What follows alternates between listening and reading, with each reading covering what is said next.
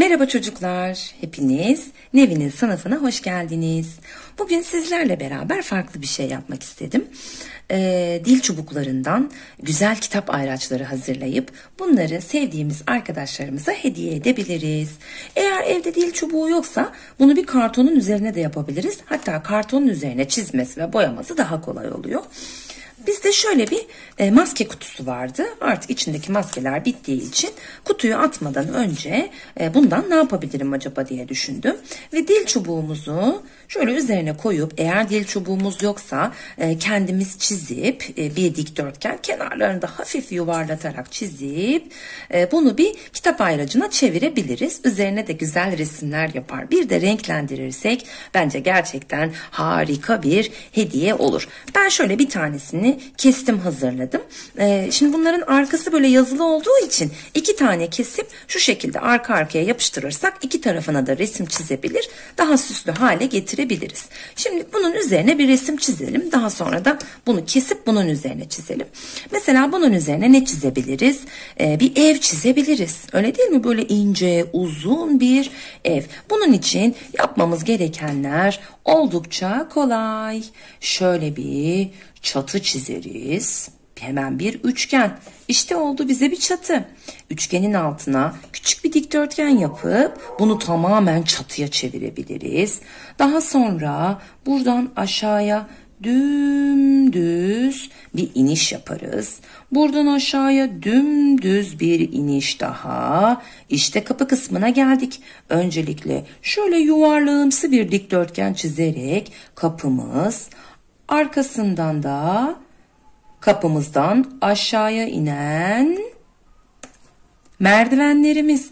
Merdivenlerin altına da yollara döşenmiş olan taşları şöyle yapabiliriz, hazırlayabiliriz. Renklendirdiğimiz zamansa oldukça güzel bir görüntüye sahip olur. Yine dikdörtgenlerden pencereler, Hatta şuraya bir de balkon ekleyebiliriz öyle değil mi? Balkon demirlerini tek tek yaparız. Yeniden pencereler yaparız. Ve işte ayracımızın süslemesi bitmiş olur.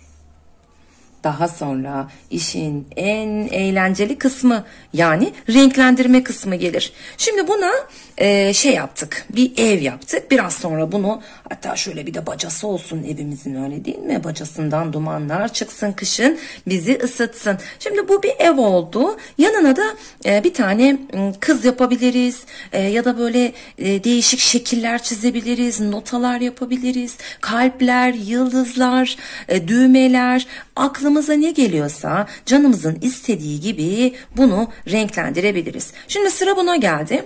E, buna ne çizsek acaba diye düşünüyorum ben. E, ne çizsek ne çizsek hmm, buraya ev yaptık. Buraya da evin içinde yaşayan bir kız yapalım mı o zaman? Hadi yapalım. Ben bunu kesiyorum ve e, bir kız yapmak üzere geliyorum. İşte diğer kartonumu da kestim. Biraz sonra bunları renklendireceğiz. Bu kenarda beklesin. O sırada ben buraya bir kız çocuğu çizelim. Nasıl çizelim bu kız çocuğunu? Mesela kızımızın şöyle şuradan itibaren saçları olsun. Şurası başının üst kısmı olsun. Şuraya şöyle bir kafa yapalım.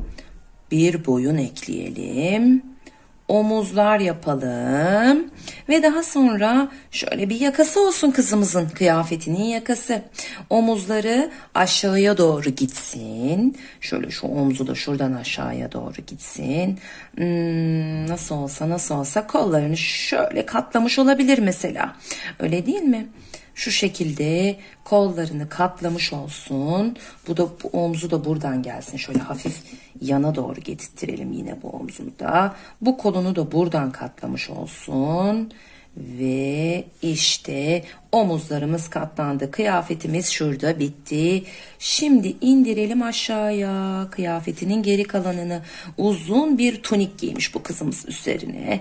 Şu da tuniğinin tişört tunik şeklindeymiş. Altına da şöyle bir kapri geçirmiş. Kot bir kapri olsun. Maviye boyayalım ve kot olsun. Kapri olduğu için dizlerinin alt kısmında bitmiş. Bunlar da bacakları kızımızın ve şu bacağını biraz yamuk yaptık. Hemen düzeltelim. Bunlar da bacakları ve işte minik ayakları. İşte kızımız hazır bile. Şimdi bunları renklendirmeye e, önce belirginleştirmeye geldi sıra.